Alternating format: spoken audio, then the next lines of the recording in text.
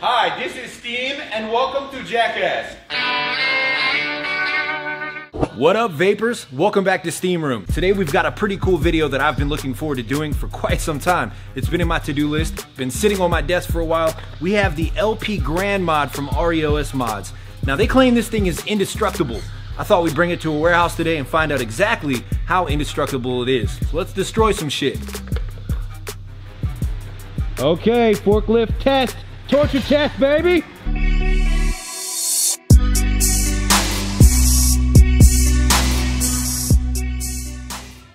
More than likely, one of the most common ways you're gonna break your mod if you're carrying it around and using it in your day-to-day -day life is you're gonna have it in your pocket. So if you pull it out and it falls out, what will happen?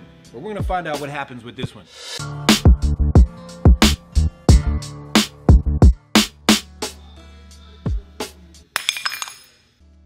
So no significant damage dropping it out of the pocket. I don't even see a scratch on this thing.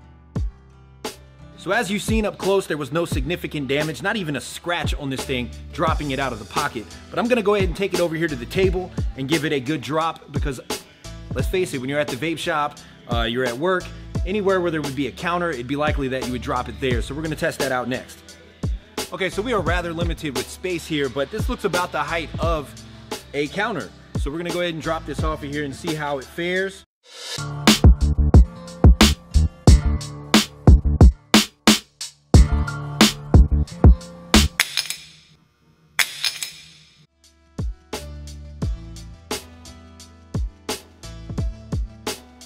So as you may have noticed, there was no significant damage done on that drop. I'm quite happy about that because it was a little bit of a loud thud. Okay, for the next test, I'm just gonna drop it from my shoulder height, but I'm gonna take a step back and do this. So hopefully you guys can catch it in frame. I'm gonna pick it back up, come up close and show it to you up close and personal to see if there's any significant damage. The last drop, there appears to be no scratches. There's nothing wrong with this mod at all. So far, their claims are standing true. So I'm gonna back up.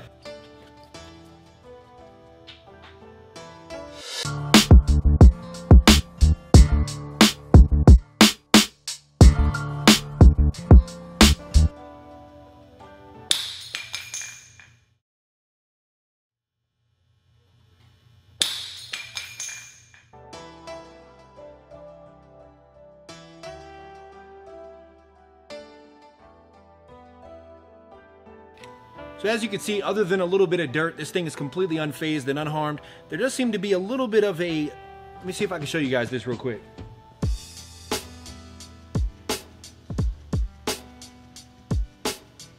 So there was a little bit of damage done to the top. I don't know what you would call that. Uh, little box that goes around the 510 connection, but there's a little bit of a scratch on it.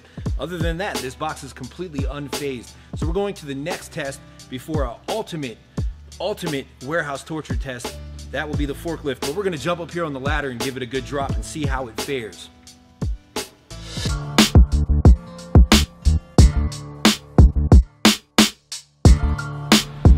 Kids, don't try this at home. Fuck. Get out of there. Shut up. Woo.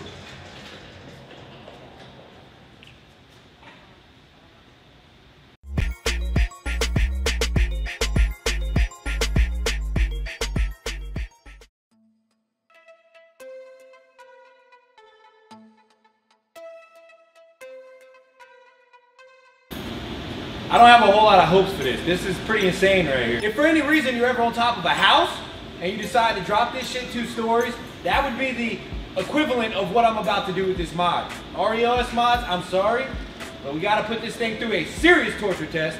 So here we go. Three, two, one.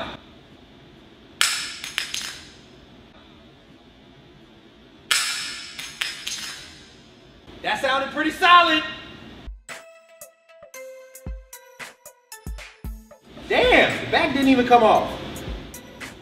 I gotta say, I'm pretty damn impressed with this thing. It's not broke yet. I'm talking to you guys too, but there's somebody operating the camera right now. Ba-doo, ba-doo, ba-doo. It's all good. It's crazy. I'm just gonna let the suspense build for the last one. For the last torture test.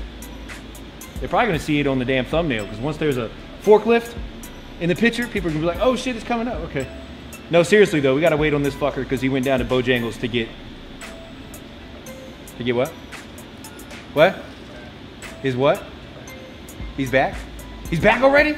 Ooh, it's time to do this. Why is the camera so low? I feel like I'm standing over this bitch. Hey! Yeah. Okay, we're gonna get to that final torture test, guys. Let me go track this guy down. He's probably eating his food right now. It is lunchtime. I'm sacrificing my lunch for this, guys. Real talk. See you in a minute.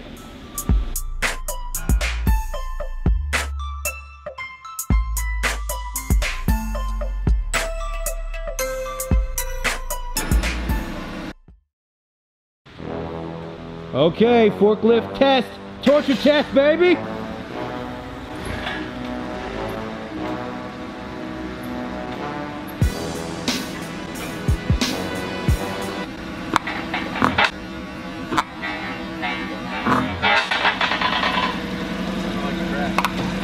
Oh, I heard some noises. I heard some noises, baby.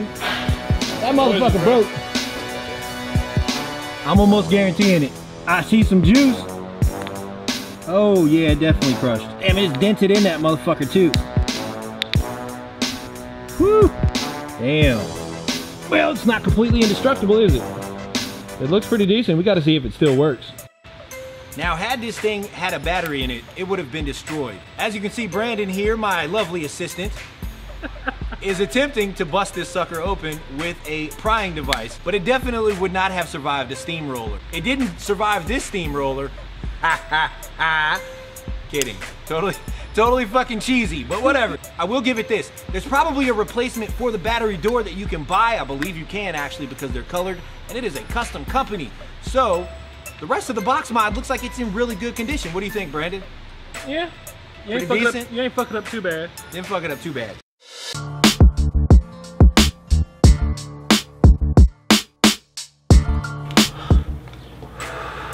All right, I'm gonna have to ask you to forgive your boy. Your boy was stinking. I had to come home, get cleaned up, a little bit shaved.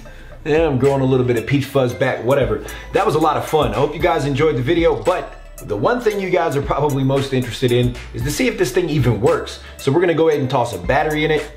Now, obviously, I don't recommend using the box mod without this plate. Uh, it's for your safety as well, but uh, yeah, it's a tough little son of a bitch. We're gonna see if it still works.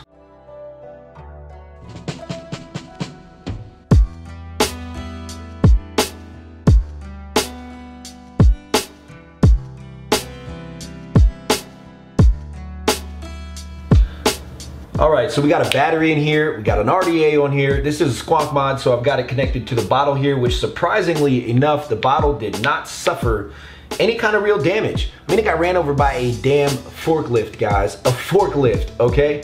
Now that would crush you or me, but this box mod somehow is still alive. So let's go ahead and get it out of the lock position. I think it's still locked. We're gonna see if this thing still fires.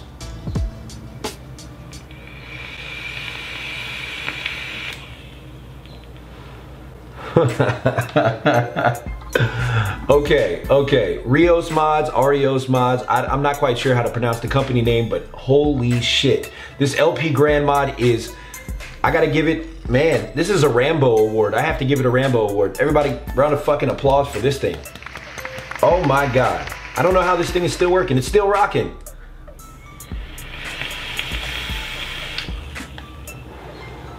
Still chucking, still chucking. Insane. That is just insane, right?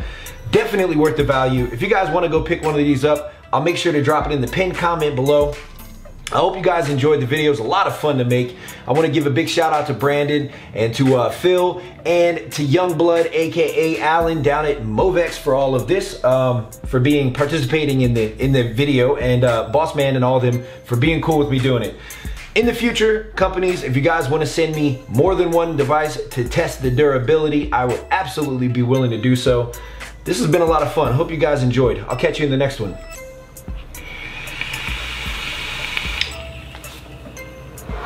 Cloud salute. That's just fucking crazy, right? That's just crazy.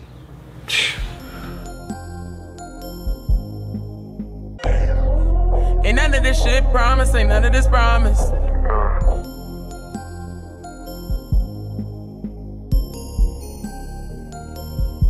None of this shit promise, ain't none of this promise. And none of this shit certain, ain't none of it certain.